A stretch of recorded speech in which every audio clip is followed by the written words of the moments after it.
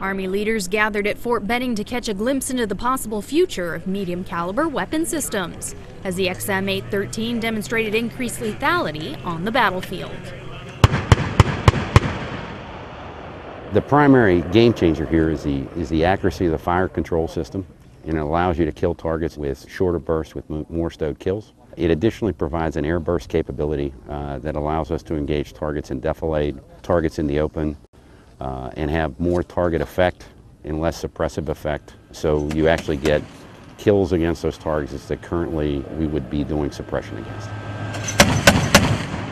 Intended to replace the current 25mm M242, the XM813 features a medium caliber 30mm weapon system developed by Ardec in a Kongsberg turret mounted on a Bradley chassis firing linkless ammunition.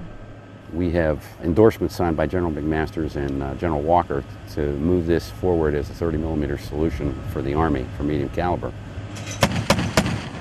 And I think the sooner we get the soldiers in here to provide that feedback to the developer, the sooner we'll see those solutions that the soldiers feel are necessary to make the, the system more user-friendly and more accurate in the field. Thanks to the improvements to the barrel and recoil system by Ardec, developers have seen a decrease in rounds required to defeat targets.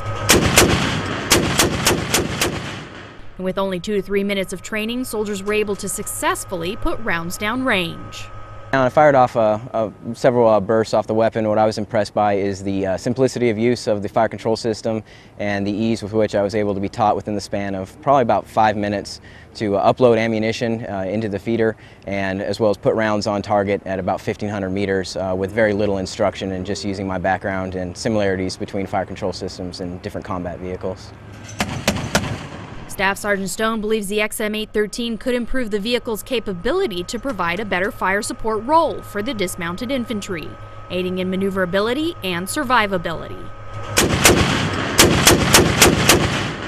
As a tanker, uh, we're always one shot, one kill, and anything that can get our infantry brethren, you know, closer to that and be able to allow them to, you know, have that one shot, one kill mentality or put minimum rounds uh, achieved for target effect onto the uh, target area is going to be something that's going to be a plus for everybody.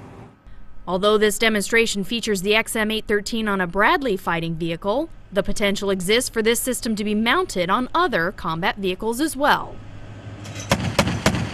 Melissa Bell, Fort Benning TV.